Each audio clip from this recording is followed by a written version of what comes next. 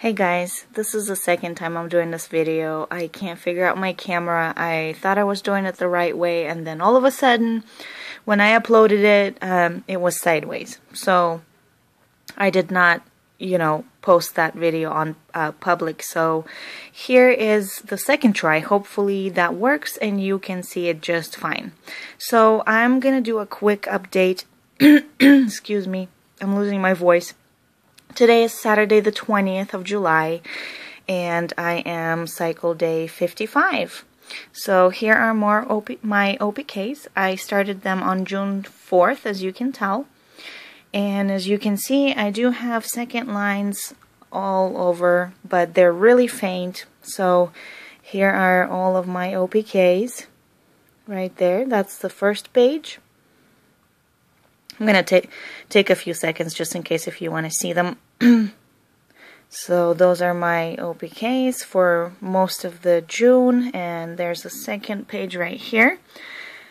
Um, as you can see right here I had a question mark. It looked like it was kind of almost positive right there as you can see and but I don't think it was. I'm 99% sure it wasn't a positive so because right after that it just went down to regular lines and I never really had a really dark positive um, and um, my temperatures did not confirm ovulation. So here's the last um, days of June and and the um, July so as you can see almost no lines right there and then it just keeps going darker lighter darker lighter.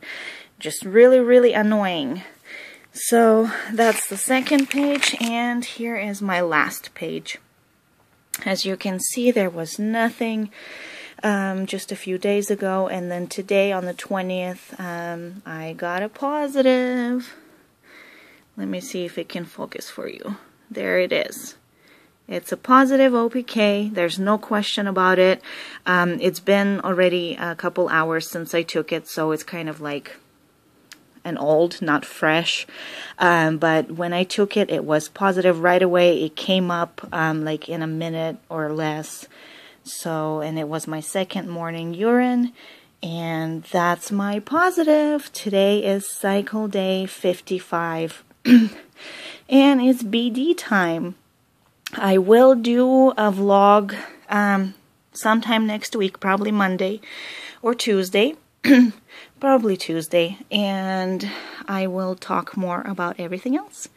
And hopefully I can confirm ovulation at that time. So here's one more time my positive OPK right here. And it came up positive, like I said, immediately. It was awesome. I love it. So there we go. Cycle day 55, July 20th. Thanks so much for watching. Bye.